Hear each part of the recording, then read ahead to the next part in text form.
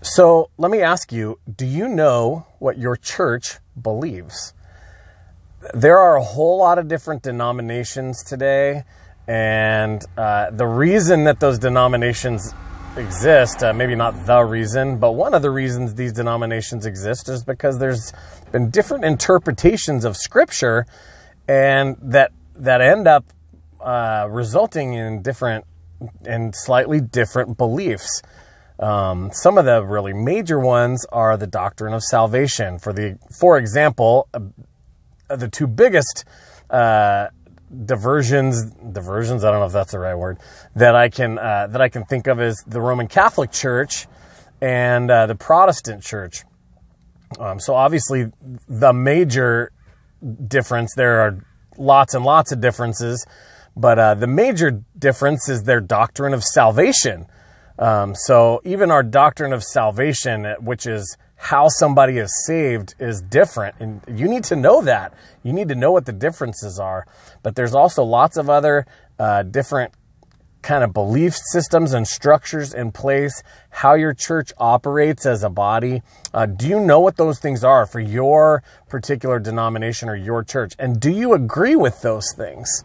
Um, there are insignificant I shouldn't say insignificant, not insignificant. What they are is non salvific. There are non salvific issues. That means, uh, for example, uh, is the earth, was the earth created literally in seven days?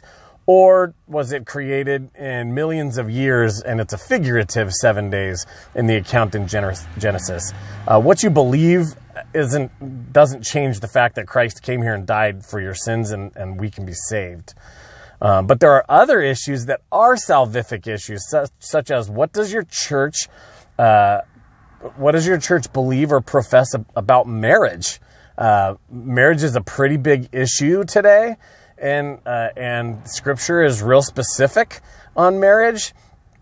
Uh, so, what does your church believe about that? What you know, um, what does your church believe about salvation and about repentance? How about baptism? Uh, and the Eucharist or communion. Maybe you've never thought that uh, all these little issues are things that you should study and you should have a biblical biblical based opinion on. So I want to give you a little bit of uh, a little bit of homework in this video, and that's I want you to find out if your church is a member of a denomination if you don't know already. Uh, find out what that what that denomination's beliefs are. You should be able to find those on their website or on your church's website.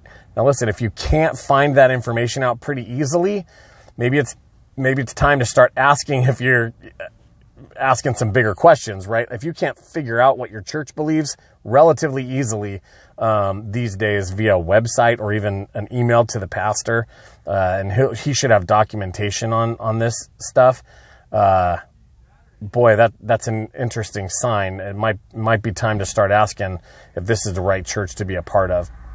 Um, because you need to know not only what you believe, but you need to know what the church that you're worshiping at believes.